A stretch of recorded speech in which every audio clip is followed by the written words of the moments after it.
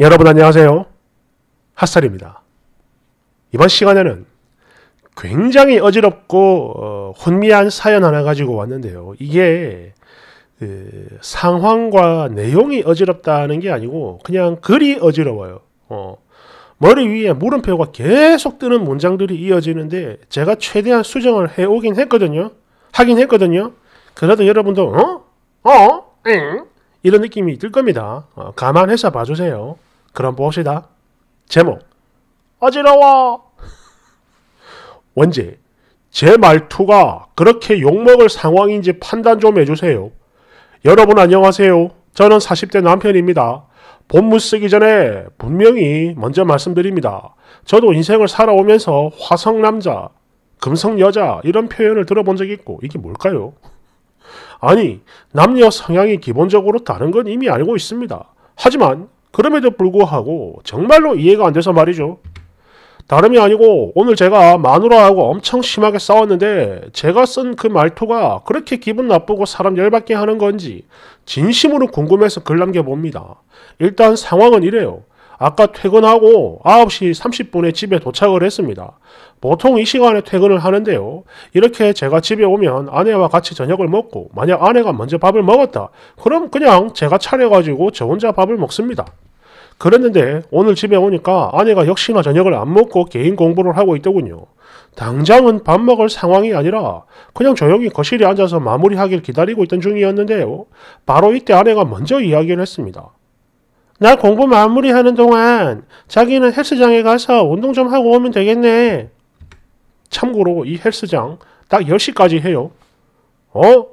그럴 거면 진작에 이야기를 하지. 나 지금 씻고 옷도 다 갈아입었는데. 그래서 지금 내 탓하는 거야? 정말 밑도 끝도 없이 갑자기 언성이 확 높아졌어요. 아니, 나는 당신 탓을 하겠다는 게 아니라 그냥 진작에 이야기를 해줬으면 좋겠다라는 거잖아. 이게 무슨 내가 당신 탓을 한다고 그래. 그리고 그렇다 한들 이게 그렇게 화를 낼 일이야? 정말 하늘에 맹세하는데 그냥 이게 전부입니다. 그런데 아내는 아까보다 더 소리를 지르며 끝까지 제가 자기 탓을 했다고 하면서 당장 사과를 하라는데 솔직히 어이가 없지 않습니까? 당연히 사과 안 했죠. 그랬더니 더 고래고래 난리를 치더라 이 말입니다. 결국 뭐 말도 안 통하고 열도 받고 그래가지고 싸웠는데요. 아무리 생각해도 이해가 안 됩니다. 진작 이야기하지. 이게 이렇게 그냥 이렇게 말을 했을 뿐인데 이게 정말 아내 탓을 하는 게 맞는 건지 그리고 쌍욕을 처먹어야 할 만큼 심한 말인지 궁금하다 이거죠. 아 그리고 또 하나 이건 그냥 제 눈치인데요. 아내도 이게 제가 본인 탓을 하는 목적으로 한 말이 아니라는 걸 아는 것 같아요. 느낌이 와. 그렇다면 아내는 왜 이런 억지를 부리는가에 대한 의문이 생기고 또 만에 하나 정말 그렇게 생각을 한 거라면 이 역시 마찬가지 의문입니다. 왜 그런 생각을 하는지 이 말이에요. 다시 한번 말씀드리지만 제가 했던 말에서 아내가 빡친 거는 즉 문제를 삼은 부분은 진작 이야기하지 이거 말고는 없어요. 내피셜 아니고 아내가 한 말입니다. 아무리 생각해도 제 기준에선 절대 이해가 안 돼요. 솔직한 생각 의견 주시면 정말 감사하겠습니다. 후기 있습니다. 이게 엄청나게 수정해온 겁니다. 어, 댓글 1번. 죄송한데 이 글만 봐서는 판단이 안 됩니다. 9시 반까지 저녁을 늘 안 먹는 상황도 이해가 안 되고 10시까지 하는 헬스장인데 씻고 옷까지 갈아입었으면 벌써 10시 다 된 거 아닙니까? 그런데 갑자기 헬스장을 가라는 그니 마누라도 이해가 안 되고 보니까 글을 제대로 못 쓴 느낌이야. 그리고 평소 쓰니 말투에 뭔가 문제가 있다라면 진작에 말하지. 이건 상대를 탓하는 말투가 맞아요. 그냥 아니야 이미 옷도 갈아입었으니까 그냥 기다리고 있을게. 이렇게 해도 될 걸 진작에 말하지. 이건 의도가 있고 뭐고 무조건 상대를 탓하는 말투가 맞다 이거죠. 다만 이게 막 그렇게 욕을 하고 화를 낼 정도인가? 이거는 평소 다른 상황들까지 모조리 알아야 판단이 될 것 같아요. 아? 아니 대체 어디가 빡친 포인트요? 나 전혀 모르겠는데 혹시 마누라한테 정신병 같은 게 있습니까? 아니 9시 반에 도착을 했는데 거기다 씻고 옷 갈아입은 남자한테 10시까지 하는 헬스장에 가서 뭔 운동을 하라는 거야? 단순히 저 말 한마디 때문에 난리를 쳤다고?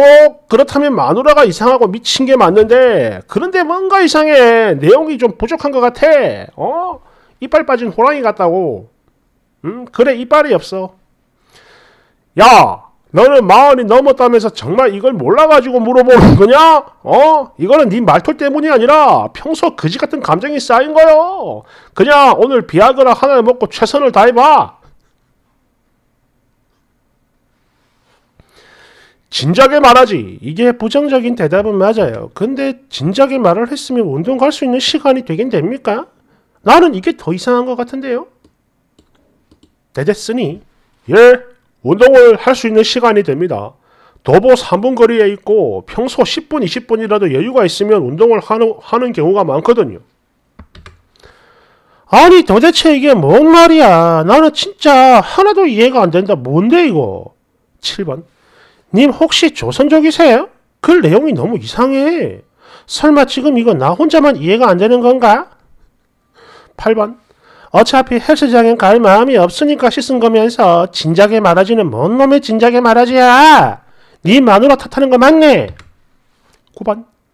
난 내용이 이해가 안 된다. 어려운 부분도 너무 많고 아니 이게 뭔 말이야?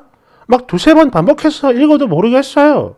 일단 쓰니 아내가 예민한 게 맞는 것 같긴 한데 진작에 말하지 하기 전에 저녁 서로 어떻게 할 건지 미리 이야기했으면 되는 일 아닌가요? 아 몰라 몰라 아우 내용이 너무 이상해 글좀 똑바로 써요 어?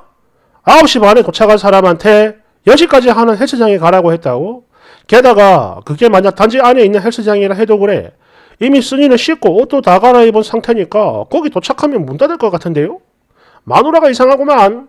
사람이 너무 예민한 것 같아. 어이고 이 쓰니 보니까 맨날 욕 처먹으면서 살 것 같아. 어이고 불쌍한 아저씨. 도대체 뭔 말인지 이해가 안 돼서 몇 번이나 읽어봤어요. 쓰니 언어 능력이 좀 부족한 건가? 여하튼 진작에 말하지. 이건 남 탓하는 거 맞아요. 그런 말을 왜 합니까? 그냥 오늘은 쉬려고 이러면 되는 거 아니야? 12번. 저는 남편, 즉 글쓴이가 더 별로예요. 아내 공부 마무리될 동안 님은 뭘 해야 됩니까?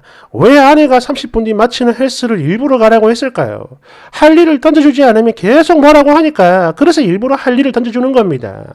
써니가 평범한 남자였다면 30분 뒤에 같이 밥 먹을까?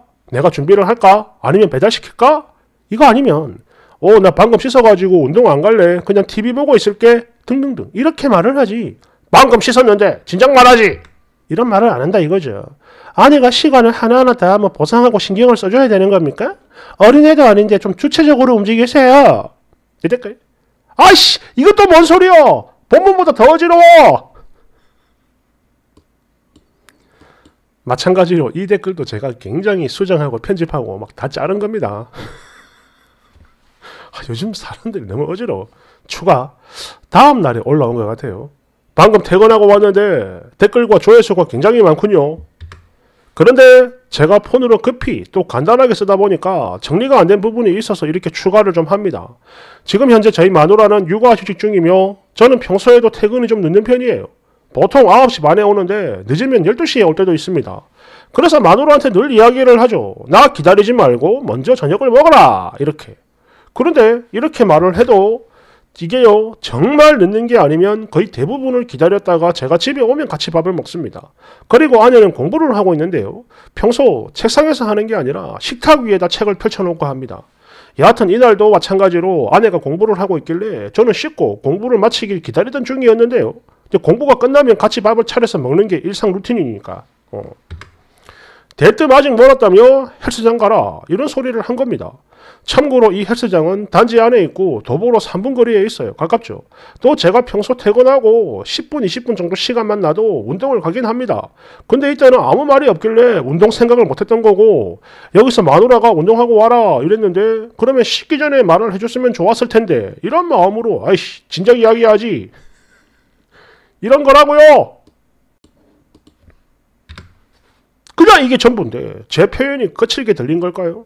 뭐 댓글 보니까 제 말투도 오해의 소지가 있다 이런 의견이 좀 많이 보이는데 뭐 사실 제가 경상도 남자라 저희 마누라 같은 그 서울 토박이 사람들이 들으면 좀 억세고 강할 수 있다는 생각이 뭐 들긴 합니다.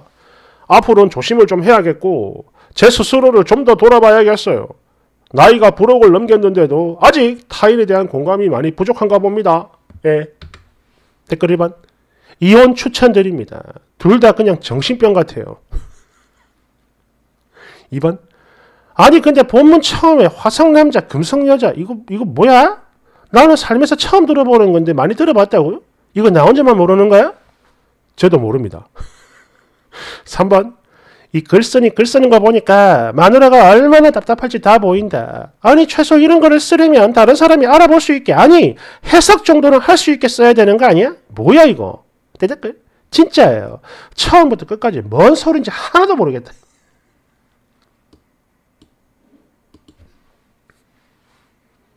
저도 그랬습니다.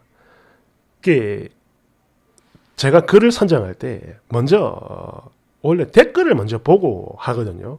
댓글을 보면은 전체 내용이 벌써 느껴지니까 사람들 그 어디로 쏠려 있느냐 그것만 봐도 알 수 있잖아요. 이 쓴이가 빌런이구나 아니면은 피해자구나 알 수가 있는데 이 사연은 제가 댓글을 안 봤어요. 왜냐하면 제가 처음 봤을 때 댓글이 없었거든요.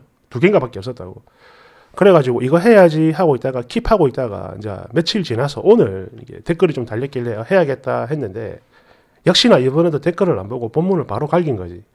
처음에는 진짜 순수하게 솔직히 말씀드리는 겁니다. 처음에는 마누라가 미친 건가? 아니 저 말이 어때서라고 할라는데 아 이상한 거야. 말을 못 알아먹겠는 거야. 그래서 그래서 제가 짱구를 계속 굴리고 제 나름대로 시뮬레이션을 해본 결과가 이렇습니다. 이 쓴이는 제가 봤을 때 제가 봤을 때 진작에 말하지 이게 씻기 전에 말하지라기보다는 네가 오늘 공부할 게 그리 많이 있으면 내가 퇴근하고 오기 전에 전화를 걸든지 문자를 남기든 톡을 남기든 했으면 내가 운동을 하고 올 거 아니냐 이런 느낌이 들거든요. 아닌가? 뭐 아닐 수도 있고 아무튼 뭐 별로 궁금하지는 않습니다. 어. 하, 어지러워 어지러워 뭔 소린지 진짜 알 수가 없네. 아무튼 그래요. 감사합니다. 음. 음. 음.